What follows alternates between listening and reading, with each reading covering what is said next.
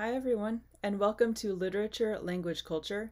I'm Rebecca Taylor, and today I'll be introducing you to a lesson plan that we've created to complement Professor Doug Ishii's video on Crazy Rich Asians, critical university studies, and queer of color theory. Like all of the lessons um, that we've created for the LLC series videos, this lesson plan is designed to be adaptable to your specific classroom context. We'd love to hear how you have adapted this lesson or how you have used any of the LLC videos in your classroom. Please be sure to share your experiences in the Canvas discussion or below. This lesson plan has been created for a literature or a cultural studies classroom, and it is designed to introduce students to the concepts of intersectionality, queering a text, and trans-Pacific studies. This lesson begins with a warm up in which students are asked to free write individually about the homework. The homework was to watch Professor Ishii's video, but then also do an online search for these terms intersectionality, queering a text, and trans-Pacific studies.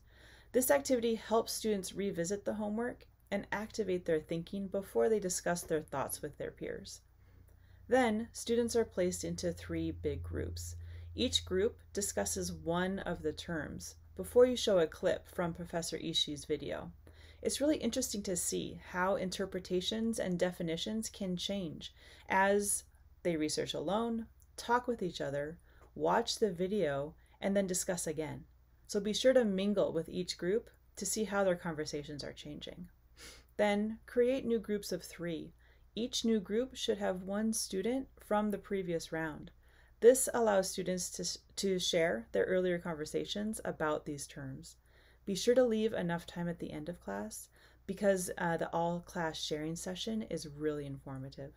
We hope you enjoy using this lesson plan in your classroom and be sure to share your experiences and adaptations in the Canvas discussion board below.